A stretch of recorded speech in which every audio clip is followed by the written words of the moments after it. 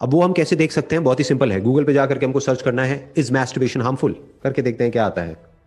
आप भी ये सर्च करके देख सकते हैं। यहाँ पर जो टॉप पे लिखा हुआ है that is masturbation can actually be good for your health both mentally and physically and it's pretty much the safest sex out there there is no risk of getting pregnant और getting an S T D masturbation is a normal act use by many to explore the body and feel pleasure despite the myths there are no physical harmful effects whether you masturbate is up to you it doesn't harm your body The medical community considers masturbation to be a natural and harmless expression.